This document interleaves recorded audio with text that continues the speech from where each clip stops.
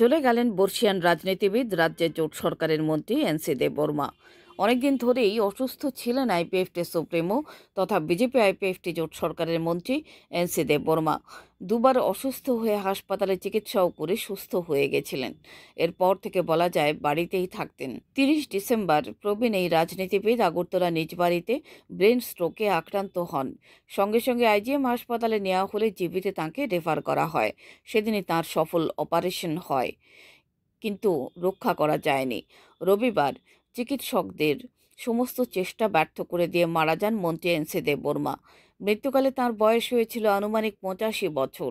তার মৃত্যুর খবর পেয়ে জিবি হাসপাতালে ছুটে যান কেন্দ্রীয় প্রতিমন্ত্রী প্রতিমা ভৌমিক, পরিবারের লোকজন এবং দলীয় নেতাকর্মীরা। সে আজকে প্রথম দিন আমাদের জন্য খুব বিষাদের খবর।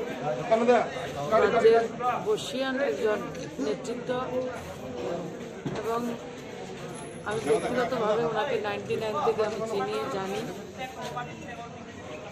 একজন দক্ষ প্রশাসক। সমাজকে নিজের মেধা, প্রখর বুদ্ধিমত্তা নিয়ে দিয়ে একটা সেবা উনি এতটা বছর দিয়েছিলেন, একটা যুগের আজকে অবসান হয়েছে। এবং আমি মনে করি এটা রাজ্যের জন্য অপূরণীয় ক্ষতি, দল, মত, ধর্ম সব কিছুর ঊর্ধ্বে তিনি ছিলেন। একটা বিশেষ একটা ব্যক্তিত্ব, একটা ইনস্টিটিউশনের আজকে অবসান ঘটেছে, একটা রাজ্যের জন্য বিশাল ক্ষতি। আর ওনার পরিবারের জন্য তো ক্ষতি ওনার যারা আত্মীয় পরিজনরা রয়েছেন, সবাইকে শুভাকাঙ্ক্ষী যারা রয়েছেন সবার প্রতি আমার সমবেদনা এবং ভগবানের কাছে প্রার্থনা করি, প্রভুর কাছে প্রার্থনা করি, ওনার আত্মার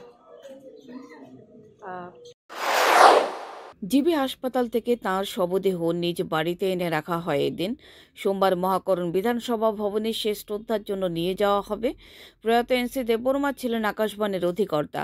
তাঁর মৃত্যুতে রাজনৈতিক মহলে শোকের ছায়া, বলা যায়, এক যুগের অবসান। এদিকে প্রয়াত এনসি দেববর্মার বাড়িতে যান মুখ্যমন্ত্রী ডক্টর মানিক সাহা। শ্রদ্ধা জ্ঞাপন করেন। পরে মুখ্যমন্ত্রী তিন দিনের রাষ্ট্রীয় শোক ঘোষণা করেছেন, তিন জানুয়ারি অবধি। পাশাপাশি সোমবার দুই জানুয়ারি সরকারি ছুটি ঘোষণা করেন। সদ্গতি কামনা করছি, পরিবার পরিবঞ্জনের সাথে কথা বলেছি ওনাদের প্রতি আমার সমবেদনা রইল। এবং আমরা তিন দিনের বা স্টেট মন্ড ঘোষণা করেছি, আগামীকাল মানে এক তারিখ, দু তারিখ, তিন তারিখ। এবং আগামীকাল ছুটির দিন আমরা ঘোষণা করেছি। কালকে দশটার থেকে এগারোটার মধ্যে যা আমার কাছে খবর এসছে শিডিউল সেক্রেটারিয়েটে যাবে সেক্রেটারিয়েট থেকে অ্যাসেম্বলিতে যাবে সেখান থেকে ওনার বাড়ি যেখানে ওখানে নিয়ে যাবে। মহারানীতে সেখানে নিয়ে যাবে।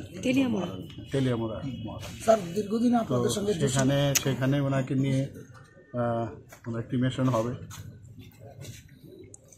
তো সত্যি আজকে ভারাক্রান্ত হৃদয়ে আমি বলব Pure Report, Channel Den